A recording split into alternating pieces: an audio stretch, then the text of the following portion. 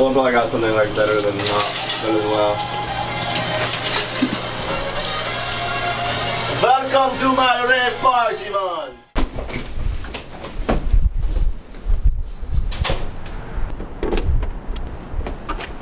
And we're off. Going to the studio today, leaving from New York.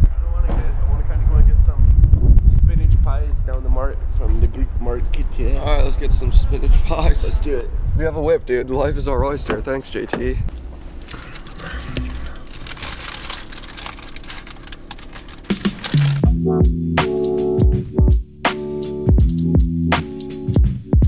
We got the canvas in. It was a squeeze. It was a squeeze, but we got it in with ease. Now let's take a trip down to Mickey D's. Daddy, bust me please. Bust me wrong, yeah, bust the G's. Thank